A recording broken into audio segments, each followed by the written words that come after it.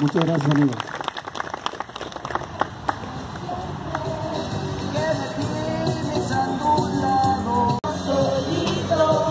porque tienes un amigo y ese amigo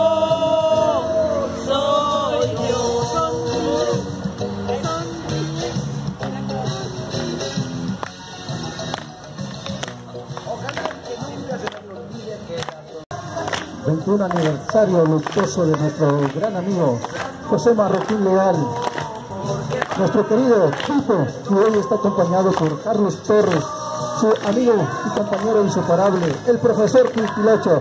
Ese fuerte aplauso para ellos dos que están aquí con nosotros hoy en este paseo, paseo de las estrellas de este su parque España. Muchas gracias a nuestras autoridades que hoy nos acompañaron.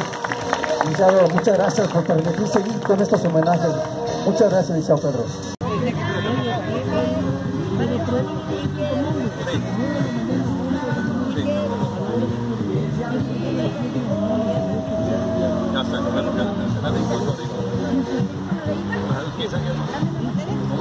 Ya está, no,